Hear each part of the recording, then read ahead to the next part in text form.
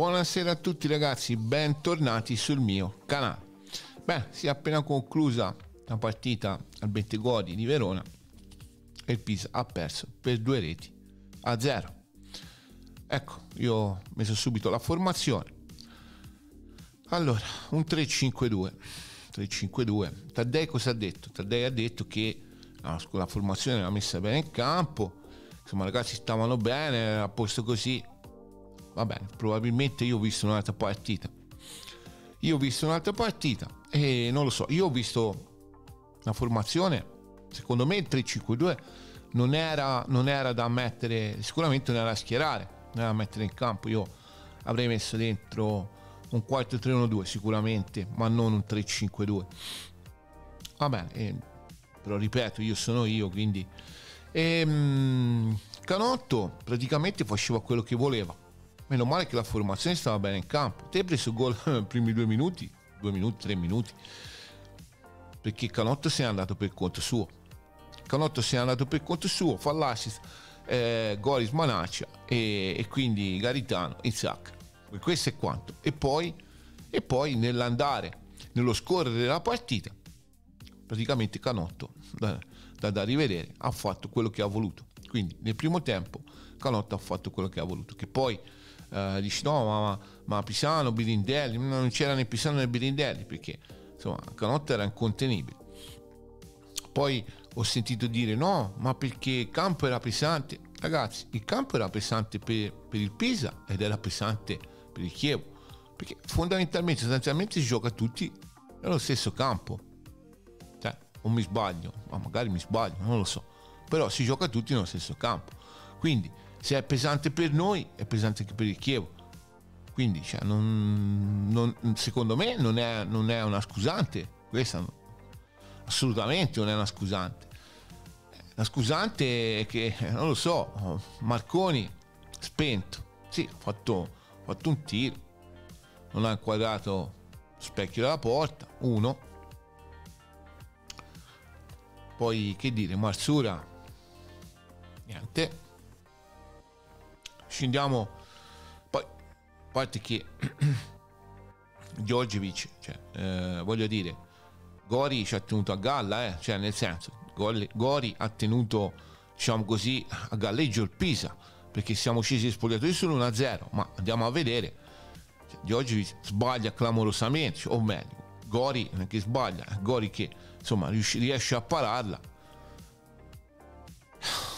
E poi insomma un altro, su, su, un altro tiro. Eh, insomma, fondamentalmente cioè, è stata. Ringraziamo, cioè, si può ringraziare Gori se, se il primo tempo è finito sull'1-0. Il Chievo non è andato oltre.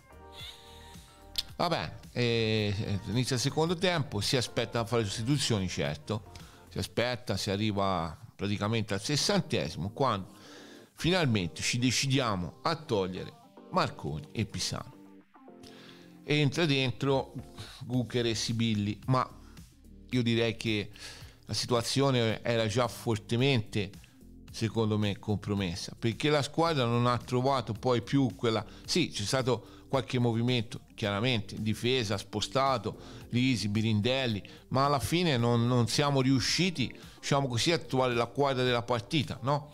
Perché poi entra dentro anche Beghetti e Palombi per Lisi e Siega ma non, non è servito perché sì, abbiamo, abbiamo, giocato, abbiamo tenuto il centrocampo, eh, chiaramente Chievo è andato, insomma si, è, insomma, si è un po' arretrato e quindi cosa faceva? Non faceva altro che sfruttare la velocità, quindi il contropiede.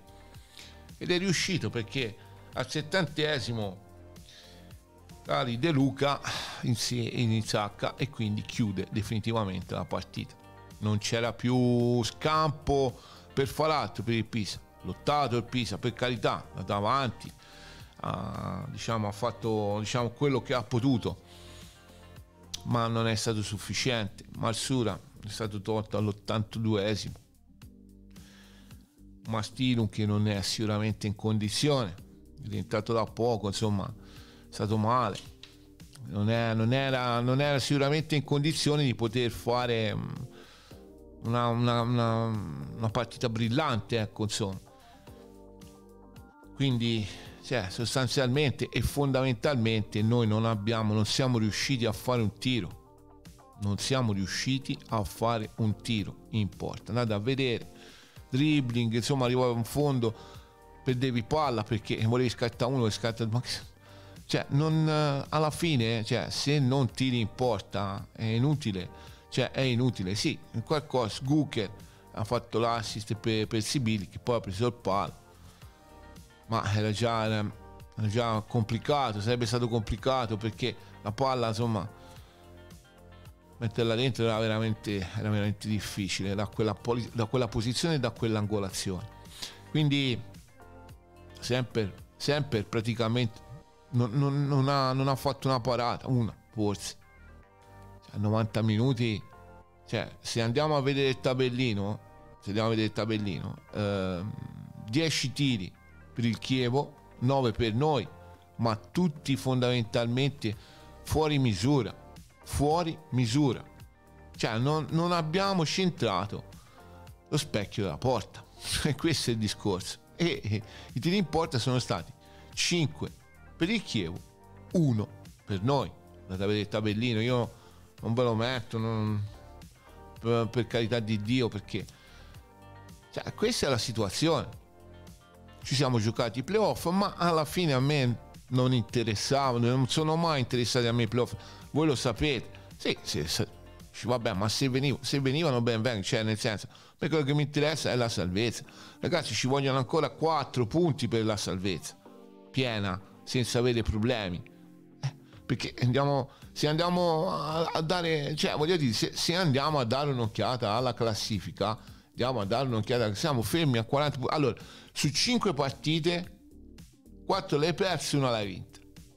Comincia a diventare pesante, è veramente pesante, pesante. Sì, è vero con, con Lecce, Lecce ci meritavamo sicuramente un pareggio, sicuramente, ma senza togliere nulla a nessuno, la realtà è questa, un pareggio secondo me cosa, sarebbe stata una cosa giusta e equa, ma così non è stato.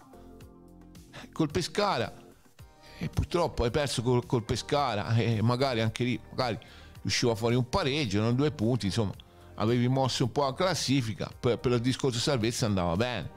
E ora sembra, speriamo di non fare la stessa fine del Perugia l'anno scorso, eh? Speriamo, perché cioè, voglio dire, si fa presto, ancora non siamo salvi e stiamo scendendo sempre di più. Ora, voglio dire, ehm, siamo, dunque, eh, siamo, vediamo un po', 34, 40, 6, c'è 6 punti da playout.